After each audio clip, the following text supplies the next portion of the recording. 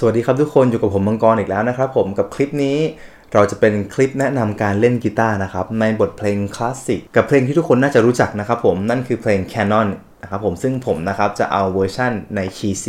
Major นะครับขอ mark นิดนึงนะครับด้วยความที่ว่ากีตาร์โปร่งเนี่ยครับคอมันเล็กใช่ไหมครับบางครั้งนะครับการกดเบสบนสาย6เนี่ยครับเราจะมีการเอานิ้วโป้งนะครับอ้อมขึ้นมากดนะฮะซึ่งเพลงนี้ก็จะใช้นิ้วโป้งอ้อมกดเหมือนกันนะครับที่คอร์ด F นะครับอาจจะลองฝึกเอานิ้วโป้งกดดูก่อนก็ได้ครับ